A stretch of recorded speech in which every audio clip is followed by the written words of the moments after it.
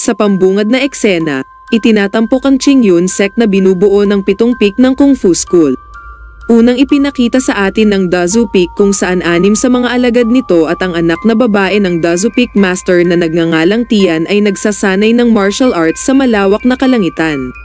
Samantala, isang mag-aaral na nagngangalang Zhang Xiaofan na isang baguhan ay nagtatrabaho pa rin sa kanyang unang antas ng Kung Fu. Dahil sa pagkakaroon ng malinis na puso at masipag sa lahat ng mga gawain, si Xiaofan ay lubos na nagustuhan ng lahat. Mayroon din siyang crush kay Tian na palaging sumusuporta sa kanyang pagsasanay at nag-aalaga na parang nakatatandang kapatid. Habang kumakain, nagiging paksa ng talakayan si Xiaofan habang pinipilit niyang umunlad sa kung fu sa kabila ng halos isang dekada niya sa sekta. Gayunpaman, iginiit niya ang kanyang pag-unlad na sinasabing nasa huling yugto na siya ng kanyang unang antas ng pagsasanay. Upang subukin ito, ipinatong ni Master Shang ang kamay niya sa dibdib ni Xiaofan. Bilang resulta, nagsimulang sumandol si Xiaofan, kaya palihim siyang tinulungan ni Tian mula sa likuran. Isang araw, habang nagsasanay kasama si Tian, naalala ni Xiaofan na ito ang araw kung kailan pumanaw ang kanyang mga magulang. Ginamit ni Tian ang kanyang kakayahan sa paglipad para dalhin siya sa kanyang nayon. Pagdating doon, ikinwento ni Xiaofan ang isang kalunos-lunos na pangyayari kung paano niya nasaksihan ang kanyang nayon na tinamaan ng kidlat at bagyo. Pagpasok nila sa nayon, nakita niya ang kanyang ama na isang kung fu master, nakikipaglaban sa nakamaskara na pinuno ng Demon Sect. Habang tumitindi ang labanan, pareho silang gumamit ng kanilang mystical powers na nagresulta sa isang malaking pagsabog pinatay nito ang lahat ng mga taga-nayon maliban kay Xiaofan at sa kaibigan niyang si Jingyu.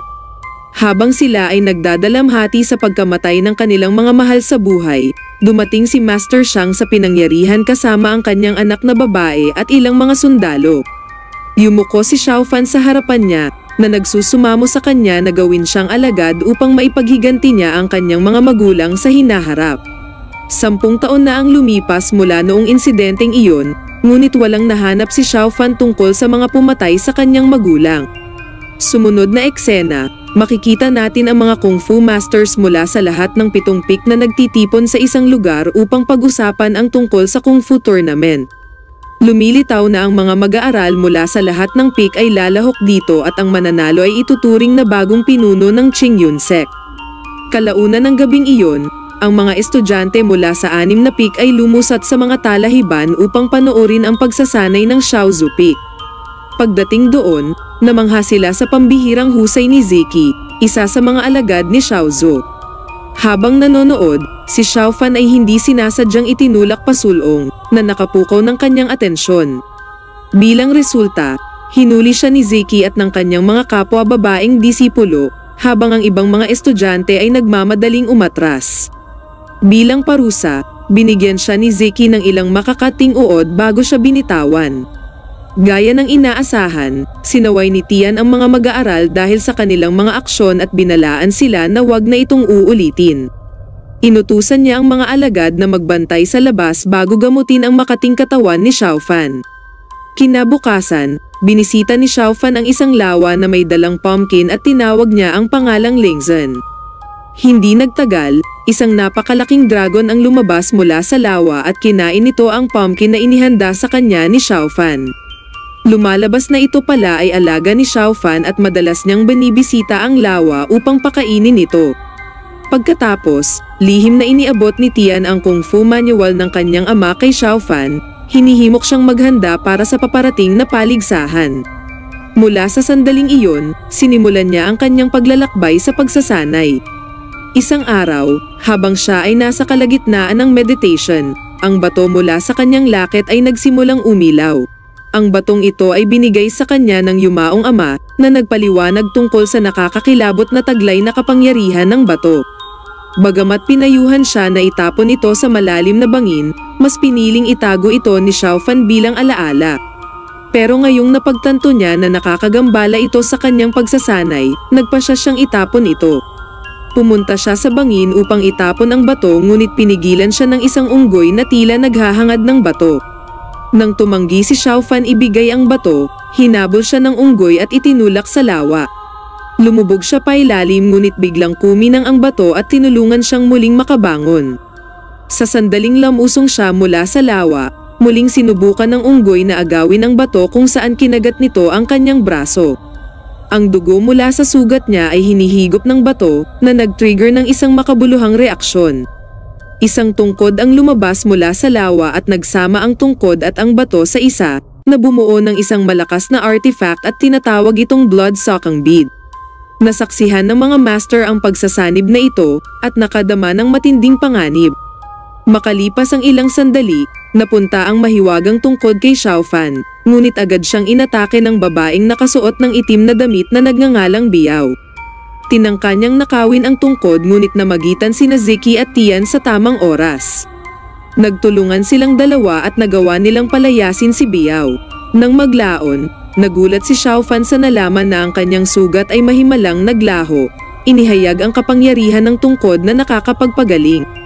Mamaya sa hating gabi, pinasok ni Biao ang Dazu Peak ng isa pang beses upang nakawin ang tungkod. Tagumpay nga siyang makuha ito, ngunit tila ba ang tungkod ay muling bumabalik kay Xiaofan. Dahil sa nabigong pagtatangka na ito, tumakas na lang si Biao. Sumunod na eksena, nilapitan ng guro ang kanyang mga alagad na nagsasanay para sa paparating na paligsahan. Habang sinusuri niya ang kanilang mga kakayahan, si Jingyu mula sa Longshu Peak ay nagpakita sa eksena. Mayabang ito at hinahamak ang kakayahan ni Xiaofan, kaya nagalit si Tian sa kanya at pagkatapos ay naglunsad ng pag-atake kay Jingyu. Gayunpaman, hindi nagtagal ay natigil ang kanilang laban sa pagdating ni Kihaw, isang senior member ng Longshu School kung saan si Tian ay nabighani sa kanya. Humingi siya ng paumanhin kay Master Shang sa ipinakitang asal ni Jingyu sa kaumalis. Nang maglaon, nagtatrabaho si Xiaofan sa bukid nang makita niya si Tian na niyakap si Kihaw. Nadurog ang kanyang puso kaya tumakbo siya patungo sa isang field para ilabas ang kanyang emosyon.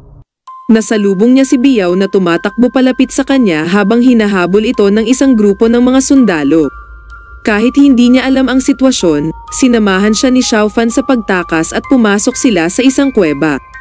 Habang nagtatago doon, tinanong niya ang dahilan ng pagtugis ng mga sundalo at tugon ni Biyaw na nilabag niya ang patakaran ng kanilang paaralan. Kasunod nito, pinahayag ni Xiaofan ang tungkol sa kanyang one-sided love habang si Biao ay nagpatuloy pa rin sa pagtangkang agawin ang tungkod. Pagkatapos ng maraming pagsubok, nagpa siya si Biao na manatili doon magdamag at nanghuli sila ng kuneho para sa hapunan. Sa kanilang pag-uusap, ibinahagi nila ang mga nakaraang kwento sa isa't isa. Isinalaysay ni Biao ang isang napakasakit na karanasan kung saan minsang nahulog sila ng kanyang ina sa malalim at madilim na kuweba. Pagkatapos ng mga araw na walang pagkain, isinakripisyo ng kanyang ina ang sarili para pakainin si Biao. Ipinahayag niya rin ang pagnanais na magtungo sa isang lugar kung saan maaari siyang mamuhay ng payapa. Pagkarinig nito, sinabi sa kanya ni Xiaofan ang tungkol sa isang lugar kung saan siya pupunta para sa kanyang advanced na pagsasanay ng kung fu at nangakong isasama si Biao. Ang kanilang nakakaantig na pag-uusap ay humantong sa pagbabago ng kanilang pananaw para sa isa't isa na nagresulta sa kanilang pagiging mabuting magkaibigan. Nag-fast forward ang eksena sa araw ng tournament kung saan ang mga estudyante mula sa lahat ng paaralan ay nagtipon sa templo ng Shaolin. Ang mga maglalaban sa unang round ay pinipili sa pamamagitan ng random ball at ang mag-aaral na makakatanggap ng bola na may markang numero 1 ay direktang uusad sa ikalawang round nang hindi nakikipaglaban. Nakuha ni Ziki ang maswerteng bola ngunit pinili niyang makipagpalitan kay Xiaofan. Sa paniwalang si Xiaofan ay imposibleng uusad sa susunod na round. Pagkatapos nito, nagsimula na ang unang round at kalahati sa mga mag-aaral ang natanggal sa kompetisyon. Maya-maya, nakipagkompetensya na si Xiaofan sa ikalawang round at ang kanyang tungkod ay gumagalaw ng mag-isa na madaling tinalo ang kanyang kalaban. Samantala, mukhang hindi maganda ang pakiramdam ni Ziki, kaya pinayuhan siya ng kanyang master na si Shuo na umatras muna sa tournament. Gayunpaman, si Ziki ay hindi nagpatinag at nangakong mananalo sa kompetisyon. Nang marinig ito, inabutan siya ng kanyang master ng espesyal na gamot na pansamantalang magpapagaling sa kanya. Sa ikatlong round, Hinarap ni Xiaofan si Jingyu, habang si Tian ay hinarap naman si Ziki. Si Jing Yu ay malinaw na isang profesional na manlalaban kumpara kay Xiao Fan, kaya nagpa siya siyang wag magseryoso. Sa pagsisimula ng laban, tila ba nahihirapan si Jing Yu laban kay Xiao Fan, kaya ngayon naniniwala siyang itinatago ni Xiao Fan ang kanyang tunay na kakayahan na nagpagalit sa kanya. Ngunit ang hindi niya alam ay kusang gumagalaw ang tungkod ni Xiao Fan. Nagpa siya si Jing Yu gamitin ang buong lakas gayon paman, sa kabila ng kanyang ginawa, napatunayang nangingibabaw ang mahiwagang tungkod ni Xiao Fan at kalaunan ay natalo nito si Jing Yu. Ang madla, na walang kamalay-malay sa kakayahan ng kanyang tungkod, ay nabigla ng masaksihan ito at nagtataka kung paano biglang gumaling si Xiao Fan. Bagamat siya ay nanalo, hindi tanggap ng dignidad ni Xiao Fan na manalo sa ganitong paraan kaya dahil dito, umakyat siya sa isang bangin at itinapon ang mahiwagang tungkod. Sa kabilang banda, Isang matinding labanan ang naganap sa pagitan ni Ziki at Tian na parehong nagpakita ng kanilang pambihirang kakayahan. Gayunpaman sa huli ay nagawang talunin ni Ziki si Tian. Pagkatapos nito, nakatakdang makipaglaban si Ziki kay Xiao Fan sa huling round ng tournament. Nang gabi ring iyon, nilapitan si Xiao Fan ng unggoy at dinala siya sa sapa. Doon, natuklasan niya si Ziki na nakahandusay sa lupa. Nagmadali siyang tulungan ito at binigyan ng gamot.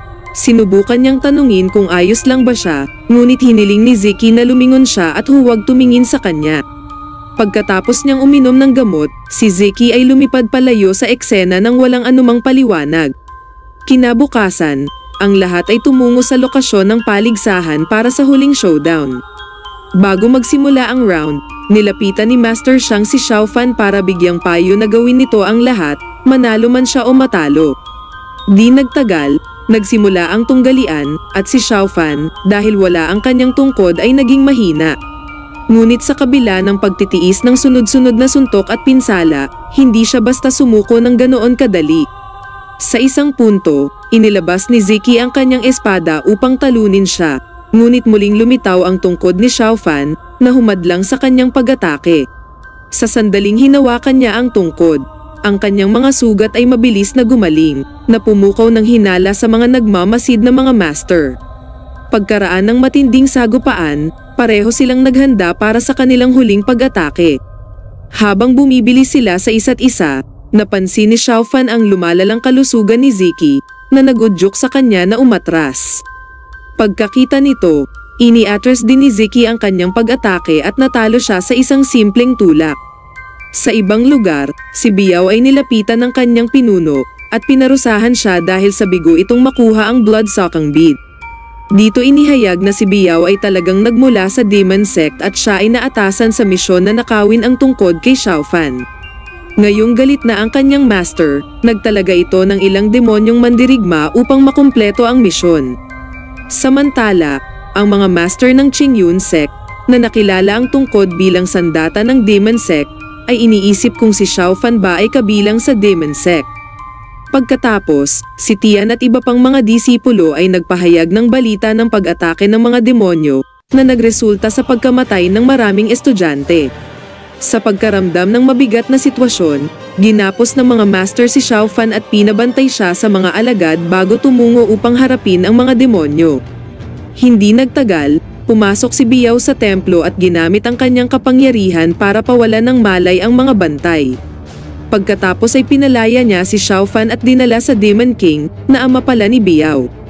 Binawi ng Demon King ang blood-sucking bead, ngunit dahil taglay ng tungkod ang dugo ni Xiaofan, bumalik ito kay Xiaofan dahil siya ang tinuturing bagong master ng tungkod. Sa galit, tatapusin na sana siya ng Demon King sa kabila ng pakiusap ni Biyaw. Ngunit itinumba niya rin ang kanyang anak bago naglunsad ng pag-atake kay Xiao Fan. Ilang sandali lang, lahat ng mga master pati na rin ang kanilang mga alagad ay dumating sa pinangyarihan upang labanan ng Demon Sect.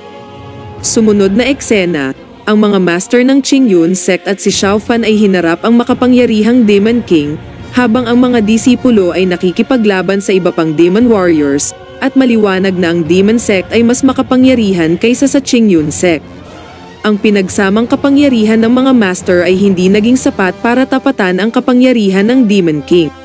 Sa isang kritikal na sandali, inilabas ng Demon King ang kanyang maalab na atake na nagudyok sa mga master na magkaisa sa depensa sa pamamagitan ng kanilang kapangyarihan. Nang masaksihan ang napakalakas na kapangyarihan ng Demon King, namagitan si Xiao gamit ang kanyang tungkod at nagbigay ng suporta sa kanyang master. Sa huli ay nagawa niyang talunin ang mga demonyo, ngunit siya mismo ay sinapian ng isang demonyong kaluluwa sa proseso. Dahil dito, naramdaman ng mga master ang masamang aura ni Xiao Fan at bilang resulta, nagpa siya silang patayin siya bago niya sirain ang mundo. Gayunpaman, masyadong malakas ang kapangyarihan ni Xiao Fan kung saan nadaig niya ang pinagsamang puwersa ng mga master. Nang hahampasin niya na sana si Master Shang, pumagit na si Tian kaya nahampas nito ang ulo ni Tian. Sa mga huling sandali, sinusubukan ni Tian na maibalik sa kamalayan si Xiao Fan. Sa kabutihang palad ay nagtagumpay si Tian at muling bumalik sa sarili si Xiao Fan ngunit kapalit naman ito ay ang buhay ng minamahal niyang kaibigan. Si Ziki, na siyang huling nakaligtas na disipulo, ay ibinalik ang pabor sa pamamagitan ng pagpapasya na palayain si Xiao Fan sa halip na patayin siya. Nagtapos ang pelikula nang binuhat ni Xiao Fan si Biao at pumunta sa isang lugar na payapa kung saan ipinangako niyang dadalhin siya.